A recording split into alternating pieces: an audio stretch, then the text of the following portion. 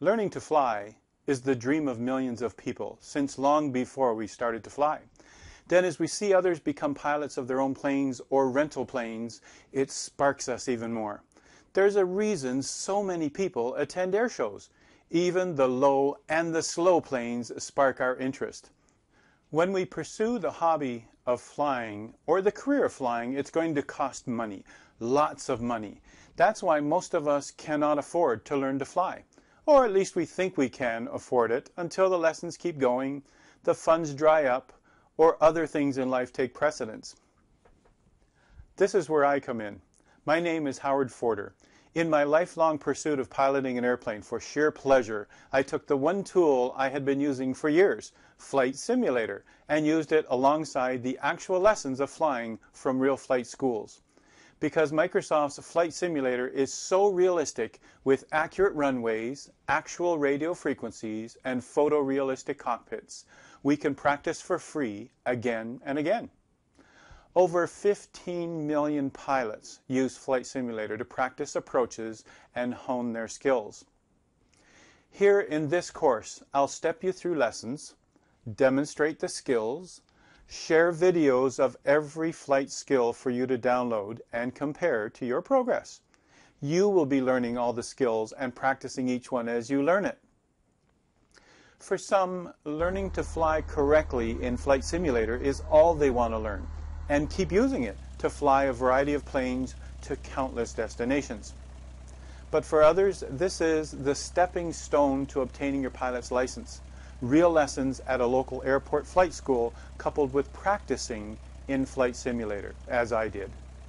There are seven major lesson areas in this beginner course, just as there are in a flight school pilot program.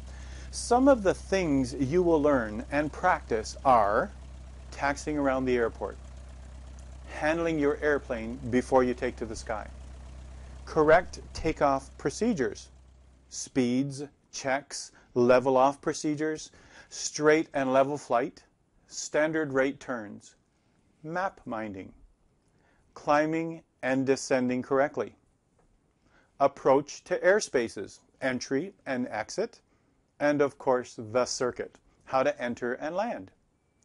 All through this, radio procedures, talking with control towers. We'll also taxi to the apron and correct shutdown checklists. There, there are materials for you to download, such as the area flight map, the Cessna 172 checklist, which I have simplified for Flight Simulator in this course, a cockpit poster to study, and assignments that need to be submitted. When you finish this course, you'll be able to confidently handle an airplane from startup, taxi, takeoff, flight maneuvers, return to airport, and land correctly without crashing, all the while listening to and responding to air traffic controllers.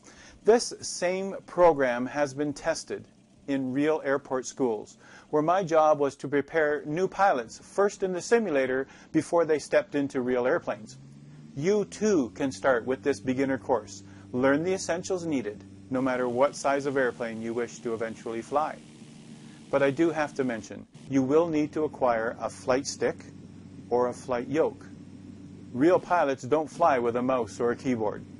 The ideal setup for this course is an inexpensive flight yoke, rudder pedals, and Flight Simulator 2004 or Flight Simulator X from Microsoft. But we can talk about sources and cost in the course. I just don't want you to be surprised to hear this after you buy the course.